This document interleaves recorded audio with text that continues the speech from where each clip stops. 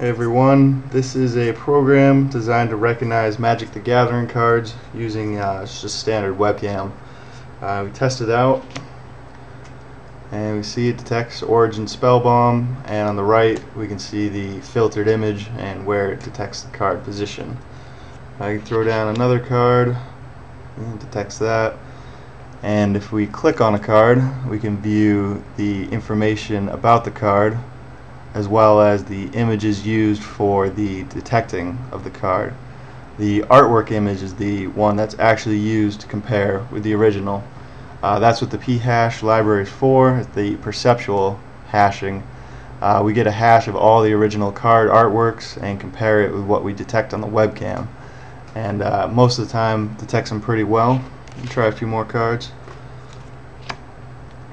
Detects that. Yep.